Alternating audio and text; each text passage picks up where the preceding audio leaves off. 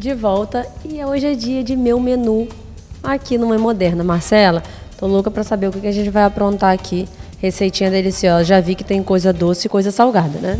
Isso. Hoje a gente vai fazer uma panqueca low carb, uma massa básica que pode ser usada tanto para recheio salgado quanto para recheio doce. Dá para substituir os recheios, os ingredientes. A gente vai ensinar uma massa base que vocês podem adaptar em casa. Bora começar? Já estou ansiosa já, e estou com fome hoje, gente. Vamos lá, é bem simples hoje, não tem segredo. A gente vai fazer primeiro uma massa básica que você pode fazer ela salgada ou doce. Eu vou usar primeiro a base para fazer a doce, porque a gente vai adaptar ela salgada, vamos usar cúrcuma para fazer ela salgada. Então, a princípio, a gente vai colocar dois ovos,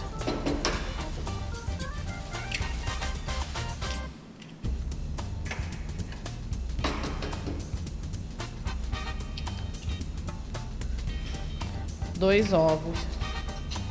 Aqui a gente vai colocar cinco colheres, cinco a seis colheres de é, leite de coco.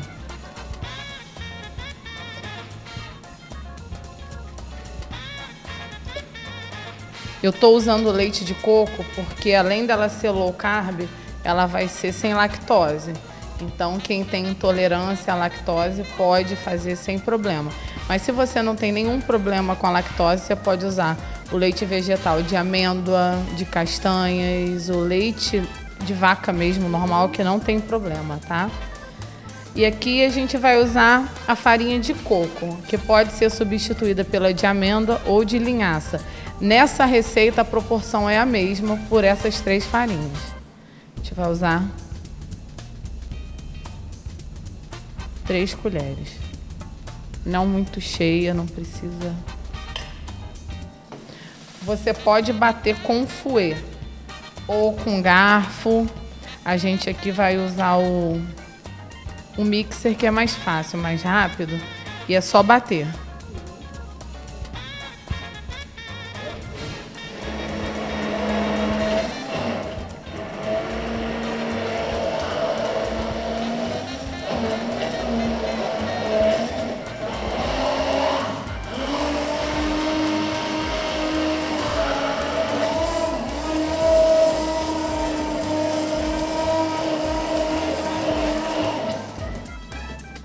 Gente só bateu aqueles ingredientes, nada demais, tá? Frigideira antiaderente.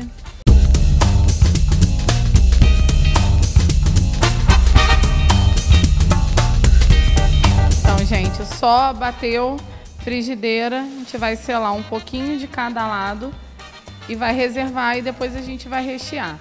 Essa massa aqui não foi sal, não foi nada, porque a gente vai fazer com recheio doce. Mas se você preferir, pode adoçar aqui com mel, com xilitol, com sucralose, é, adoçantes que possam ir ao fogo, tá? Que ela vai selar um pouquinho de cada lado. Pode substituir por outras farinhas, tá? Também com aveia. Aqui nesse caso a gente está optando pelas opções sem carboidrato.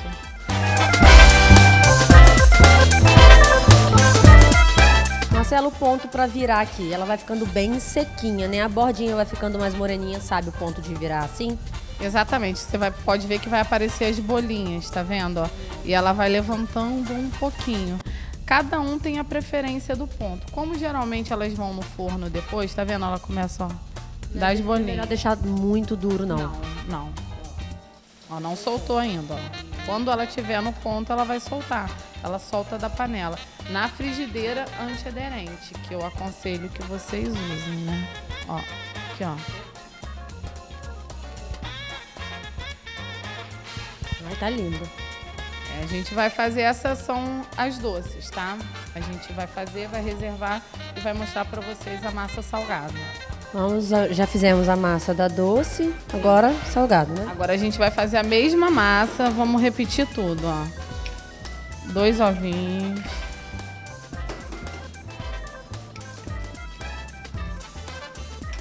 O leite de coco que a gente mediu a metade, né? Aqui, 5, 6 colheres.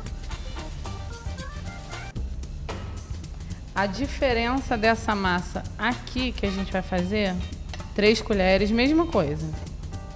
Tá? A gente vai botar aqui uma pitadinha de sal. E a diferença nessa aqui é a cúrcuma, o açafrão da terra, que a gente vai usar. Ela vai aromatizar, vai dar sabor, vai deixar com uma cor super bonita também. Eu amo usar esse tempero. É, eu não vivo sem também. É uma delícia, faz super bem. Então aqui é isso. A gente vai fazer a mesma coisa, só vai bater, tá?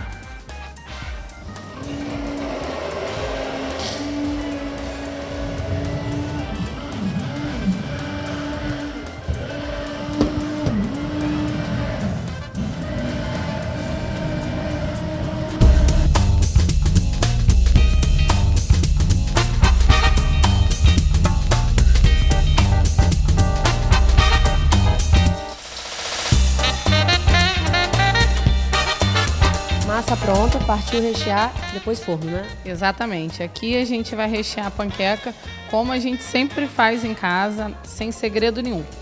Vamos lá, nosso recheio aqui é patinho, cebola roxa, milho verde, salsa e cebolinha. Mas aquela coisa, frango, presunto, queijo, peito de peru, o que tiver em casa vai. Recheio a gosto, né, Marcelo? Exatamente, como você preferir. Aqui a gente vai rechear.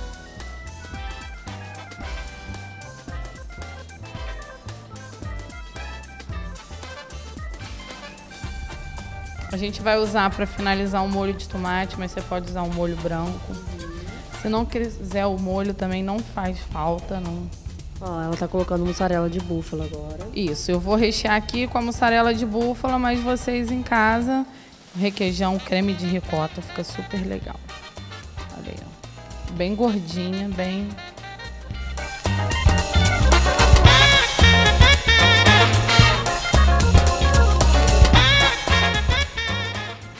Para desfiar assim é legal o patinho. Uhum. Mas você pode fazer com a carne moída, com molhinho de tomate, fica legal também. Frango. Ah, e outra dica legal que a gente estava falando aqui, não acabou que não gravou para vocês, é da massa. Pode colocar beterraba, que aí muda a cor, pode colocar espinafre, que aí fica verde, né? Exatamente. A beterraba você rala um pouquinho, pode ser ela crua mesmo. Rala na hora que for bater no liquidificador, no mixer, ela vai ficar bem roxinha, bem lilás. Para usar ela verde, folha de espinafre ou até salsa e cebolinha também dá uma cor legal. Páprica, ela fica avermelhadinha. E aqui a gente o, a cereja de búfala, né, de mussarela de búfala. Sem segredo nenhum para fechar, ó.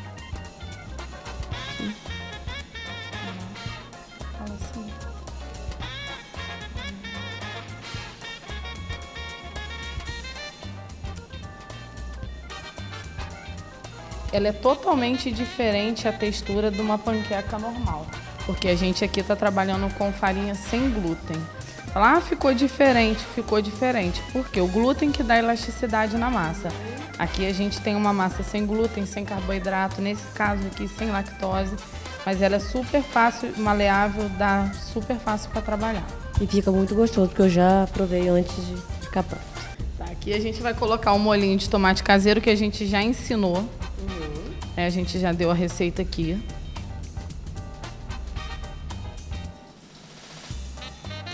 Molhozinho coringa para ter congelado no.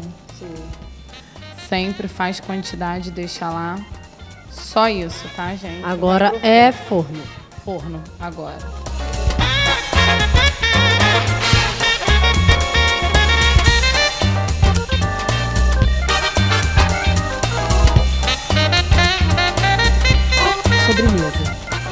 Agora a gente vai para a versão doce, aquela massa, massa básica, sem sal. A gente vai fazer ganache de chocolate, que a gente também já ensinou. Só o chocolate meio amargo com creme de leite fresco. Tá?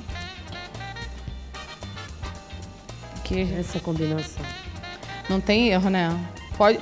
Ó, não tem o morango em casa, geleia, só com mel, a gente falou aqui agora, né? É. Mel e canela de manhã. Precisa de mais nada.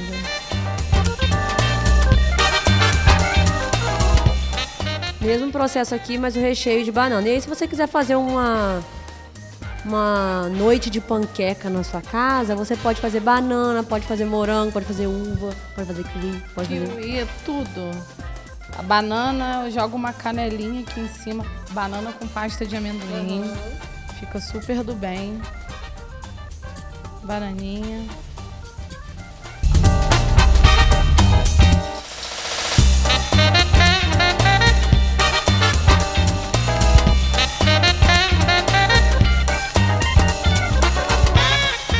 Prontinha para comer.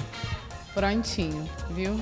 A gente levou no forno, foi super rápido, 15 minutos com molho de tomate, só para o queijinho derreter. Dá para ver a fumacinha saindo, olha só que tortura. Partiu, gente. O que a gente pode fazer agora é comer. Difícil. Muito triste esse momento. Hoje ainda tem principal e sobremesa, da mesma forma. Eu já garanto que tá delicioso, mas chega de conversa, vamos logo experimentar. Ah, a gente vai ficando por aqui. Mas domingo que vem tem mais Mãe Moderna para vocês.